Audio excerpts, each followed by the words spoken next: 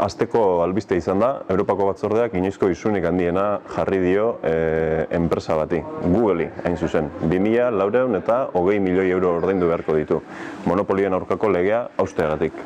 Bai, e, Bruselak leporatu dio interneten bilaketa egitean bere zerbitzuak jartzen dituela emaitzen zerrendako lehen postuetan eta lehiakideen zerbitzuak atzeko horrietan kontsumitzaileek ez ikusteko moduan.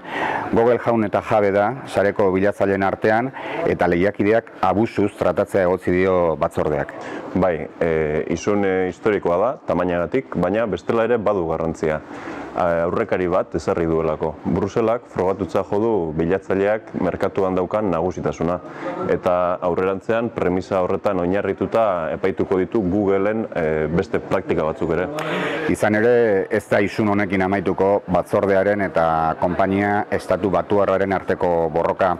Beste bi prozedura ditu zabalik bilatzailearen kontra eta bietan aurretiazko ondorioa da konpainiak gehiegikeriaz jokatu duela. Beraz, isun gehiago etorriko dira, etor daitezke.